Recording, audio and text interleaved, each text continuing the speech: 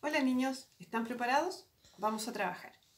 Recuerden tener cerca todo lo que necesitan para comenzar su trabajo.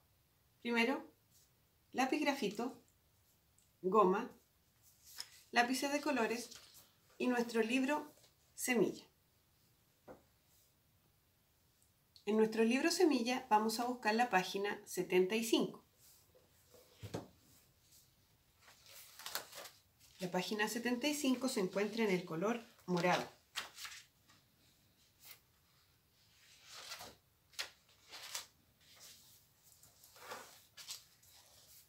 Esta es la página 75. Vamos a escribir el nombre del día y la fecha. Día, mes y año. Nuestra actividad se llama ¿Dónde están? El campo, un lugar lleno de vida. Observa muy bien la imagen con todos sus detalles.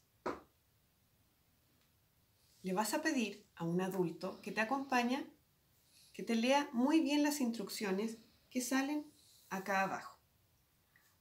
Y vamos a conversar. ¿Qué ven? Vemos árboles, una casa, animalitos, agua.